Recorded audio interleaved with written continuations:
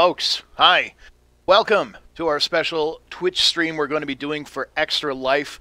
Uh, this is going to be money that we're going to be asking you guys to donate. Uh, and to start things off, we're going to go to extralife.org slash team slash raptr. They're the ones that we're doing this stream for. And today we're going to do a stream of Dragon Age Inquisition, which is coming out this November, November 18th, in Yep. fact. Uh, and with me is Cameron Lee. Hello. He is my, he's like my stream buddy. Yeah. So we were told, and you will be some disembodied voices as well. We have Connell Pierce here helping us out, uh, making sure everyone sounds good, Mm-hmm. and uh, Patrick Demkew, who is, I believe, at Miracle Worker because he really desperately wants more Twitter followers. I don't know. I love it. I love Yeah. it. Thank you, Mike. You should follow him on Twitter. You should, or, or don't. I mean, whatever. It's cool. Um, anyway, Patrick is going to be looking at questions on the stream. We're going to have those coming in. Um, and I was talking to Cameron before we started, and um, one thing we, we want to do is take a look at the game and kind of give a bit of an overview because we figure there might be some people watching because you guys are following the Extra Life stuff. Maybe you've never even seen Dragon Age before, so we're going to make sure we talk about the game a little bit at a high level. But for those of you who've been following along our streams past little while, it's going to be kind of cool because we're going to go somewhere new. That's right. Yeah, it's actually uh, the first time we're going to be showing this location, so a bit of a reveal. But it's for a good cause, right? You know, like having having uh, the ability to donate to, to Extra Life and through the, the Children's Miracle Network is pretty cool. So I think it's a worthy cause to show some new Yeah. areas of the game. Yeah, no, it totally is. And I mean, you know, they, they- you know, children of the future. And I'm pretty sure my my little buddy is Can at we home break watching. into song? No, no, dance. Coordinated dance Okay. number to finish the stream. Right. Uh, but no, I mean, my my kiddo's probably at home watching right now. Uh, I have no kid. Oh no. No. You will someday. I Yeah, bet. one- yeah. day. All right. You're very virile. uh, so that said, we should probably get into the game. Uh, do you Yeah. want to talk at a high level what Inquisition's all about and what we're doing Yeah, uh, so Inquisition, Dragon Age Inquisition, uh, it's a third uh, in the series of games that, that Bioware's been making. Uh, this is definitely the, the first uh, big AAA next-gen RPG uh, that Bioware's created. So th- it's this huge world, massive story, uh, set in a very dark fantasy world, Yeah. uh, and it's a party-based game. So you have your character who's the Inquisitor, but you also get to meet a lot of uh, really interesting characters along the way.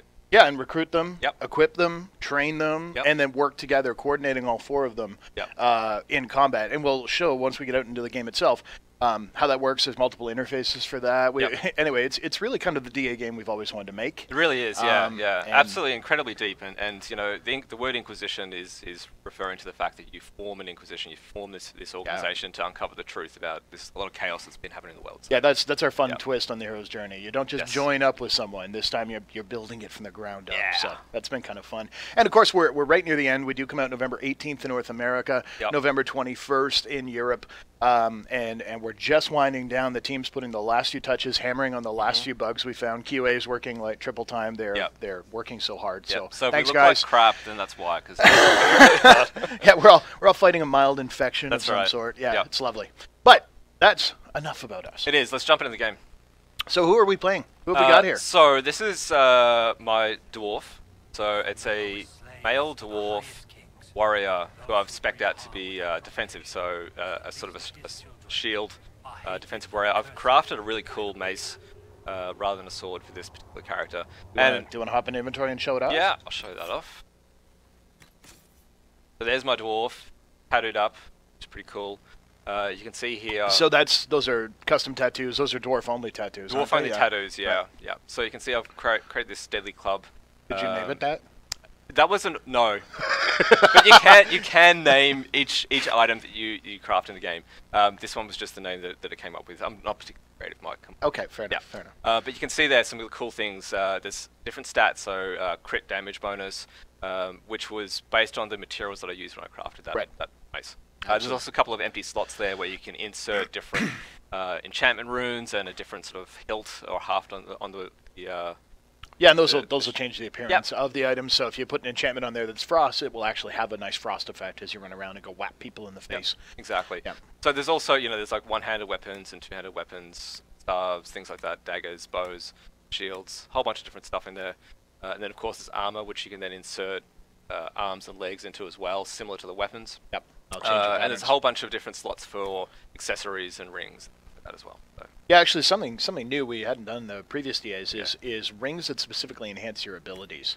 Um, so you you the lunge and slash ring. Lunge and slash is an ability a warrior can learn, so you can equip that. It will Yep. actually make it more effective, do more damage, or have a longer stun effect, or whatever the, the, the description says. Yeah, actually that's a good point because because I've built this character to be a tank. um, I'm going to equip this uh, enhanced challenge ring because that's going to help me draw aggro. a little Right, bit, so yeah, that'll that'll force them to target Yep. you for a longer period of time. Always useful. Right. Yep. Okay, so uh, let's get going. So what we're going to do is uh, this is uh, a location in, in Haven, but uh, I'm going to go in some of my war council here, uh, and we're going to use the war table to get access to a new area of the world. Now we've shown this a few times. The war table is basically the heart of the Inquisition. It is. Um, for anyone who hasn't seen it before, uh, essentially you come here, you have a group of advisors who Mm-hmm. are they're not like active party members, but they're basically coordinating your soldiers, your spies, and your Yep. diplomats. Um, they offer ways you can level up. We have a whole bunch of locations around the world, and you can do both. Um, follow-up kind of story items where you, you oh wow because you did this now people are petitioning you to do X Yeah. uh, but also you can send all your scouts out to go to new locations Exactly. which is what we're, going to do here. now, yeah. So we're going to uh, go into the Storm Coast, and the Storm Coast is, as you can see on the map, it's really, um, I guess, a, a real deep wilderness area. It, Right. It's it's very much on the coast, and uh, it's not particularly populated. And we're looking at we're looking after the wardens in this case. We're trying to hunt them down. We haven't Yep. seen them. The wardens are, of course, a massive organization dedicated to fighting a group of bad guys called the Darkspawn. They were kind of central to Dragon Age Origins, um, and we want to make sure that we touched on the warden experience to some degree in Inquisition as Yeah, well. absolutely. So what we did there is we asked Leliana to send her scouts out uh, to get access to this area, set up a forward camp, which we can then um, travel to and, and start exploring this area. So we're going to accept that report, and we can quick travel there now. So what I'm going to do is I'm going to take a slightly different party than what we normally do. 'Kay. Um, we're going to take Blackwall. nice. So- He's a warden, so He he, is a has a, warden. vested interest in this place. Exactly Perfect. right. Yep. Uh, and I'm going to take Sera as well, who's an elven rogue. Now, I've actually spec'd her as a dagger rogue this time Right, round. right. Uh, so the followers can be spec'd uh, either with their initial sort of weapons, but of course you can change, put whatever weapons Absolutely. you want on them. So Yeah. I've spec'd her as a dagger rogue. Uh, and I'm also going to take Vivienne, who's Very mage. nice. Right.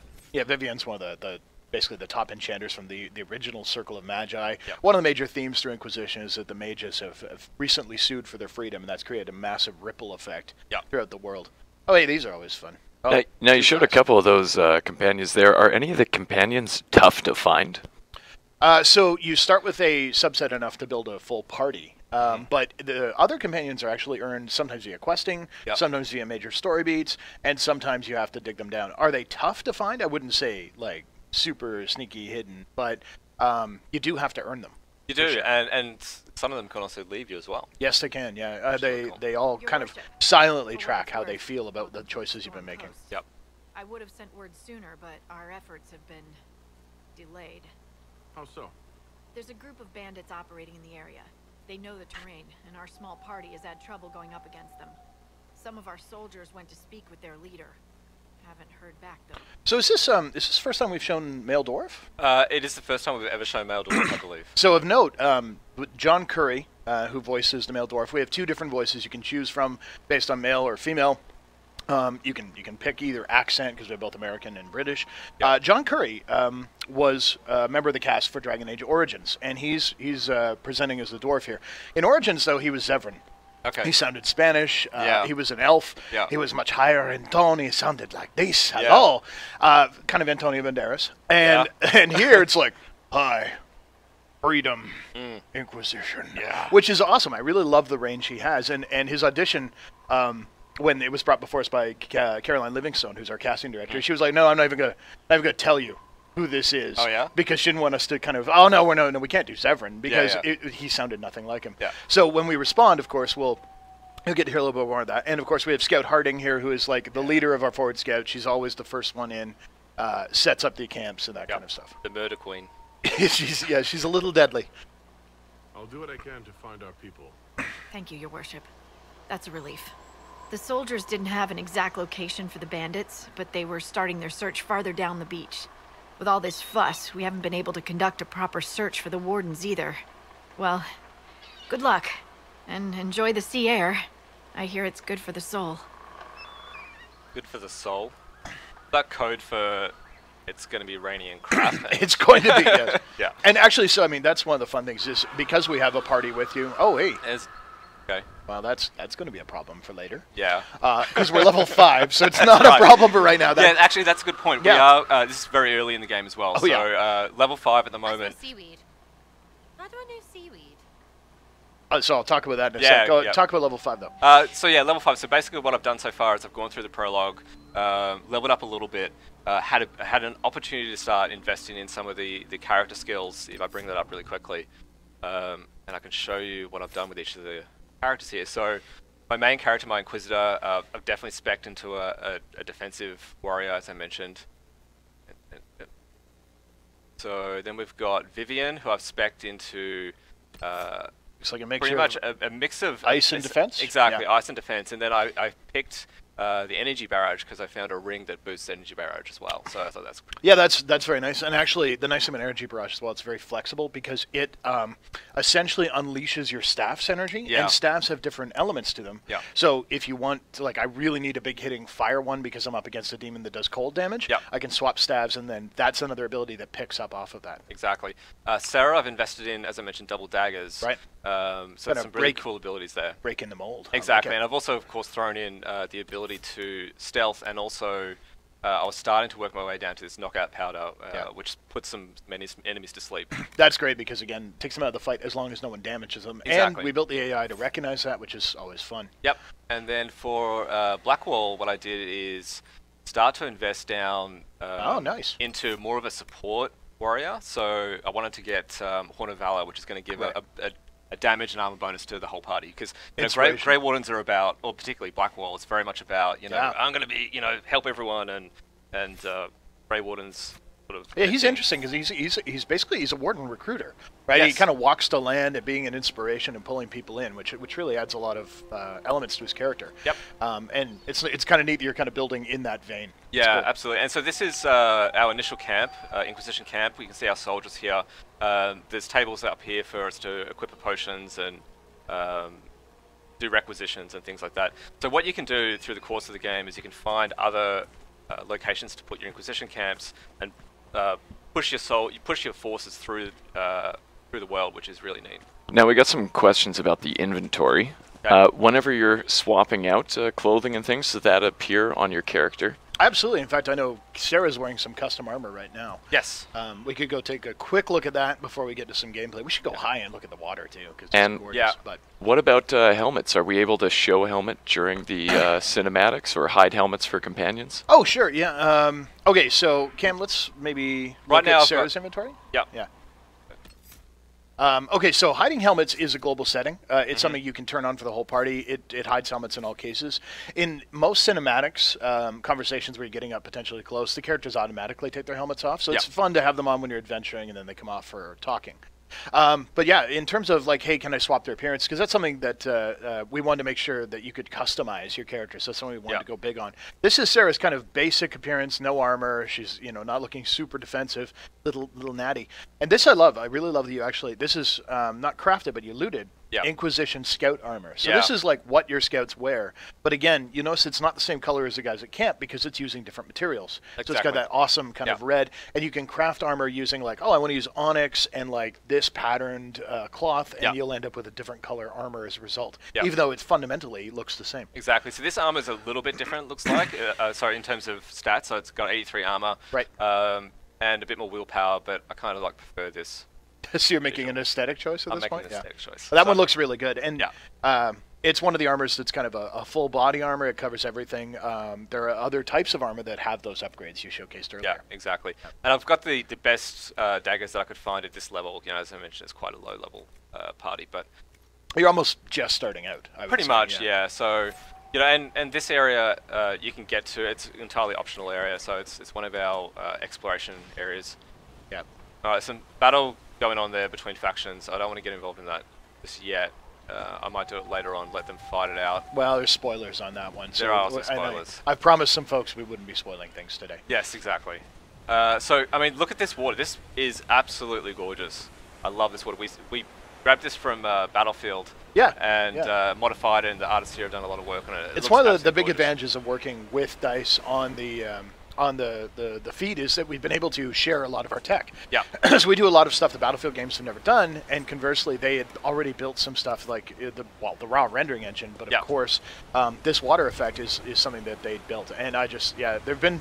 I remember one time where I was in this level. I was up. We'll probably get to one of the, the nice high areas. Yeah. And just staring at the water, and uh, our art director Matt Goldman, Mm. our uh, level art lead Ben McGrath, and uh, one of our senior level artists were all in the room, and they were talking about oh future plans and that kind of stuff, and they all kind of went quiet Yeah. because they're like wow, like even they were like okay, that's a really nice vista. yeah.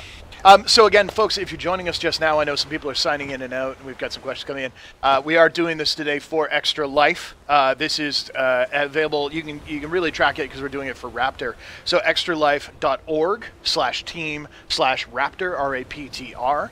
Uh, and the what we're doing today is basically gathering together donors, uh, showing off Inquisition to get you guys excited about it, but also so that we can raise money for a good cause. This is going to the Children's Miracle Network helping the kids out. And, you know, there's a bit of an incentive. The top five donors are going to receive the Never Settle Space Edition. You can look at um, the Raptr site to get a sense of what that is. Yep. Um, and uh, they, they actually just let us know that they're going to be doing a raffle of a gaming PC to those who raise, you know, over $100. Uh, and that's courtesy of AMD, CyberPower PC, Gigabyte, XFX, Astro, and Mionix. I hope I said that right. Um, so all of those are part of the, the thing. And uh, one last plug: the Raptr guys are doing something really cool. During the stream, at some point, they're giving away a code that can get you a Never Settle Space Edition, uh, which is which basically lets you pick some games and you get them for free, which is kind of cool. It is cool. Yeah. All there we go. So so back to the game. Back to the game, yeah. uh, so we're coming up. I'm just going to just bring up the map really quickly. So uh, what we're trying to do here is is, is uh, uncover where some soldiers have been missing and some Grey Wardens. So uh, this area here is basically where our scouts, scouts have told us to go and have a search around this Right. area, look They've around, try and disappeared find and- stuff. Exactly, yeah. So Now, we're getting pretty close. You know, if you don't mind, because Yeah. we've been running for a little bit here. Yeah. Can you? Can we maybe like zoom around the map a little bit? Yeah. So again, spaces in Inquisition are exceedingly large. Yes. Uh, they- we've we've built a, um, a vast multi-region open world, one that lets you uh, move between coasts like this. Um, you know, more of a Canadian shield for those of you from Canada uh, style area in the hinterlands. There's there's icy mountaintops. There's deserts, you name it. Yeah. Um, and we really wanted to get that strong visual variety, make sure people could, in some ways, almost get like a break. Like, hey, wow, I, I want to. Um, It's hardly mentioned. I, I'm- I'm getting a little tired of deserts. Let's move around. Yeah. And there's lots of content at different level bands. Uh, it doesn't scale. You can see right here. We're up against not not too tough um, enemies at this point, but uh, if you came here at a very high level, you'd be able to just waltz through these guys. Or if you came here even a little lower, it'd be tough. yeah. Now I know you're not on the beach anymore, but we have a couple of people wondering what happens if you go for a dip wearing plate mail. So we um we've actually got a fair amount of questions. uh, yes, so we did not we did not go for swimming for Inquisition. No. Um, it's something we're actually keen to, to look at for future iterations. But Yeah. we we had jumping, open worlds, but we had a bunch of stuff we wanted to tackle for this game. So Yeah. we said, okay, swimming's not really the top priority. No. Um, so basically, if you go swimming, you hear kind of a gurgling sound, and you end up kind of washed back up on the beach, Yeah. and you can restart from there. Yeah.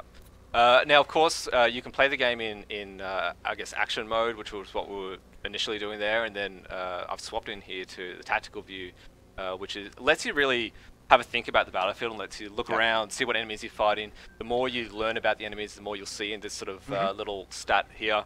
Uh, so you'll be able to see whether they're weak to cold or, Yep. or whether they're taunted, etc. Um, and you've got complete control over this uh, tactical camera now, uh, which is really neat. So being able to zoom in really close. To and our you can you can advance. whoa. Whoa, yeah, that's that's a nice shot. Also, I love I love the way the rain is actually paused. Yeah, isn't it? And you're kind of moving between the raindrops. It's all Matrix. Yeah, it is, mate. Um, I feel so- like Neo right now. Yeah, yeah. yeah, you are the one. no, not the one. I'm really not. Oh. Uh, Uh, and then you can issue orders to your party. So Yep. you can flip around here, and I might tell, uh, say, s- um, Sera to go and use uh, Twin Fangs on this archer over here. And that, of course, will set her basic attack target as well. So she'll continue to focus on that guy, kind of be sticky. You're like, okay, go use an ability on him, but then she'll continue fighting. Exactly right. Uh, and then we might do a. Uh, You're too far. You're out of range. I'm out of range. Okay. All right. And then I can allow time to keep going, and it'll go and uh, execute those those tactics and those commands, which is very neat. Yeah, Then you can pawn any time again. Yeah. Yep. All right. Okay, now I'm back into more of an action sort of view. Alright, you can also see we've got some barriers on here. So Vivienne, who I'd built to be a little bit supportive, she's Yeah. cast a barrier on us that helps mitigate some of the damage there. Alright, so now we need to look around for some clues.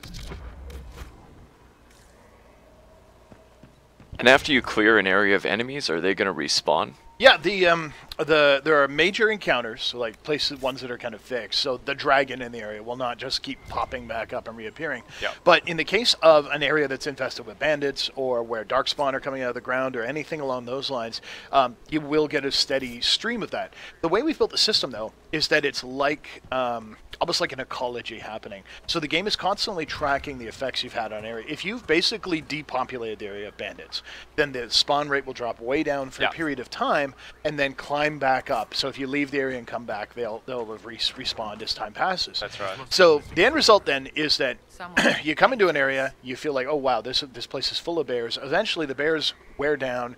You can then search around, look around, not being threatened or, or, or roughed up. But if you were hunting bears for their hides or something, then you're actually moving. Usually, you move around different hunting zones. Oh, here's bears over here. Okay, I've worn them out over here, and you end up kind of uh, hunting in a more reasonable pattern. Yeah. Um, same thing if you're looking for specific bad guys because you're trying to collect items they drop or, or um, pursue a specific quest where you want to uh, actually get your research on Darkspawn up. Yeah, absolutely. And you might go Darkspawn hunting for a while because then you permanently do more damage against them that point on. Exactly. All right, so it looks like we've found some dead soldiers here, which is what we're, what we've been trying to find. Uh, and there's some things to check out here. Looks like the bandits are camped further along the beach. Okay. All right. So we've found some more information about this particular Our quest men chain. were murdered by a group called the Blades of Hessarian. It seems there's a way to challenge their leader. Naming themselves after the sword that killed Andraste. Ambitious. They have traditions.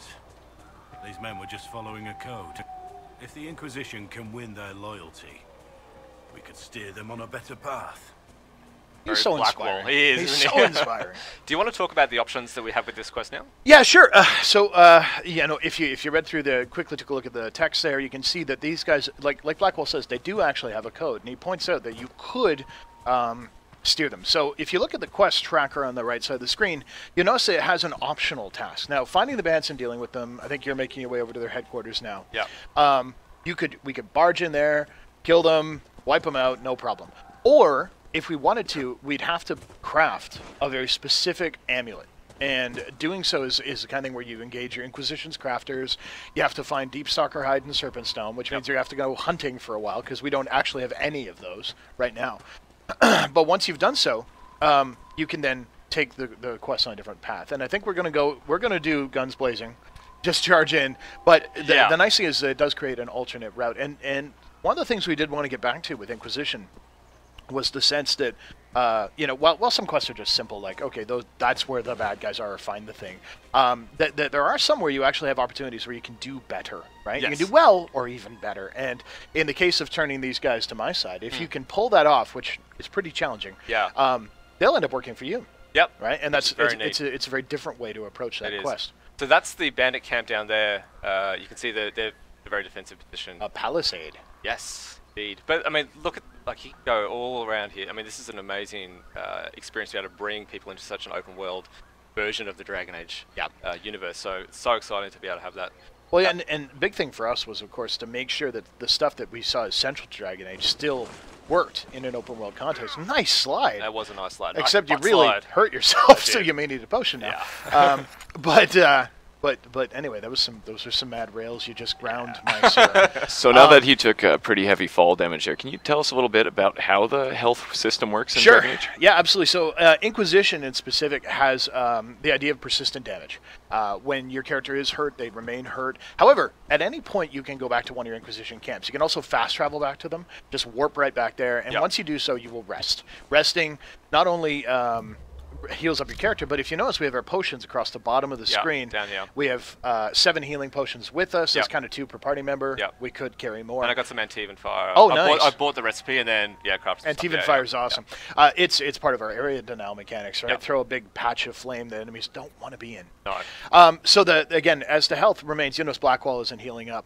uh, what will happen? Actually, we have a bug in this build. Is is di- oh no, it wouldn't be on this build. Um, is that based on your difficulty, characters will heal up to a minimum at Yep. the end of combat, but after that, it's up to you to manage their health. So, we've uh, added a bunch of new systems. Uh, alchemy allows you to do everything from regen potions to a thrown grenade that can heal an area, to your own healing potions, um, which are party wide. What about uh, my favorite, mitigation. the uh, jar of bees? I don't Will think we have the I don't bees have on jar of bees in this particular. Too bad. build. Sorry, mate. Too bad. nuts. Okay. So Cam's going to enter stealth. Uh, we're going to heal Blackwall because, of course, if he's if he's in there acting as support, then we don't want to do that. Exactly, and I might get a barrier on my party as well. Oops. Whoa. Zoomed in a little closer. Yep. All right, so the barrier will catch an area, heal them up. Barriers do decay over time. They're not kind of the I win button. Though, Exactly. again, further into the game, you're able to further specialize your characters. You showed off some of the basic kind of talent trees. There's also specialist trees, which allow you to get better barriers, or you can focus on uh, uh, more debilitation to your enemies, and Yep. so on, based on how your characters are built. Now, Blackwall's also used uh, the War Horn, which is cool. It's exactly what I wanted to do. Yep. Very neat.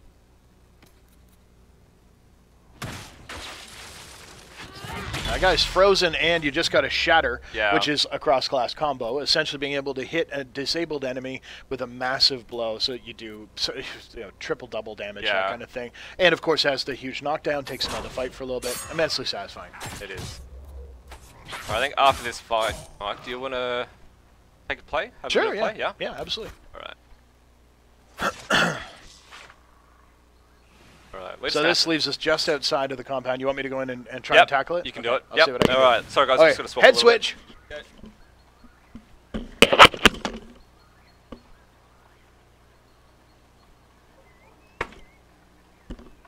Ow. I- Easy, Cameron. Yeah, I just hit my. s- Oh, you got a big head. I have an enormous head. It's true. Yeah. Through the magic that is production, All right, there we they go. did not see this magical transfer. They just They they, didn't just see heard me it. smack my They did. They face did. with They- it. We really should have muted. That would have been great. It doesn't You know what? This is what I love about Twitch. It's so raw. Mhm. It's unfettered. Okay, we're going in. All right. Let's see. There's TACAM, a little mouse wheel action. All right, what have I got to work with here? Now, uh, one thing, I don't know if we even talked about this last time we talked about PC. There is keyboard quick commands for almost We everything. never did. No. Yeah, so I'm just using F1 through F4 here to swap between the uh, the different characters. That's cool. Makes it very nice. Um, again, I do have direct command. I can also let their AI just go. But we'll go through. I'm a little rusty on this control scheme, but I think we should be good. Okay, step Let's one for around. me. Yeah, Yeah. exactly. Take a look around. So I'm I have full control over my camera, as Cameron pointed out. I can scope the battlefield, see what's going on. Let's see what we have here. Archer, Archer. Okay, those. I normally take out are a problem. archers. Yeah, they're high damage. Yeah. absolutely. This guy. It's a bug. We shouldn't have. His Uh, name should not be Archer. He has a giant shield. Yeah. Ah, and there would be the ringer. This is why scouting can really pay off. Yeah. Take a look at what else you're facing. And then that leader there, just want to hover over him. Yeah. I, th- I think he's an elite. Yeah, he's. Uh, yeah, yeah. he is. Yeah. Ooh, he's gonna be tough. He is tough. But, I, yeah. but really, really. It I is can pretty cool him. axe. And as a take him. dwarf, I think we need to get that axe. Yeah.